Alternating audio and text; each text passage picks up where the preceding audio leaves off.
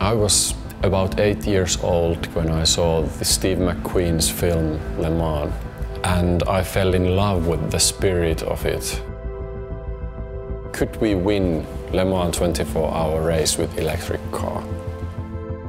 For me, there has never been such a thing as, as impossible.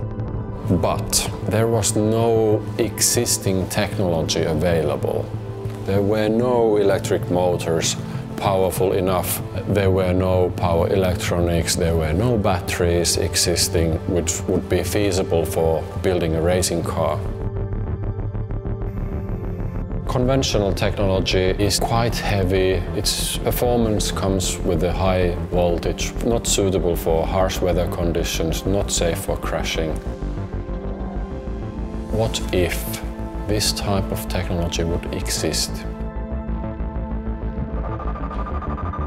Toroidion was established 20th of October 2010 and today, after five years, we have that technology. We have lightweight battery, rapid swap system for the Le Mans. The driver approaches the battery and releases the locks inside the cabin. The fresh one goes in and the empty one drops from the back and driver just continues racing. New type of electric motors which are really lightweight and powerful. Motors are directly connected to wheel, so there are no gears.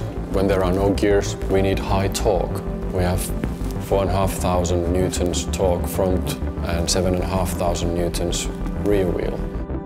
Toroidion powertrain is suitable for different applications. Small scooter to a motorbike to a passenger car, aviation and all weather conditions. It's safe for drivers, safe for accidents and uh, extremely powerful. It's the ultimate driving machine.